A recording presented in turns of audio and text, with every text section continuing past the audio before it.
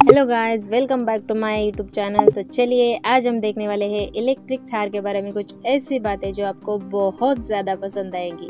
तो चलिए, जानते हैं हम इलेक्ट्रिक थार के बारे में, जैसे कि इसकी मार्केटिंग इसकी लुकिंग इसकी ब्रांडिंग इसकी फीचर्स सोशलिटी और स्पेशलिटी इलेक्ट्रिक थार अब होगी लॉन्च 800 किमी रेंज वाली गाड़ी और 140 किमी की तेज रफ्तार से मचाएँगी दो इलेक्ट्रिक थार के अपडेट नमस्कार दोस्तों, स्वागत है आपका हमारे इस आर्टिकल में। जैसे कि आप सब जानते हैं कि महिंद्रा की ओर से आने वाली है थार, जो लोगों को काफ़ी ज़्यादा पसंद आई है, इसी बीच कंपनी की ओर से एक बार फिर अपनी इलेक्ट्रिक गाड़ी को भारतीय मार्केट में पेश करने की योजना बनाई जा रही है। जिसे 2026 तक पेश किया जाएगा। इस गाड़ी में आपको दमदार लुक्स के साथ बेहतरीन सुधार देखने को मिल रहा है।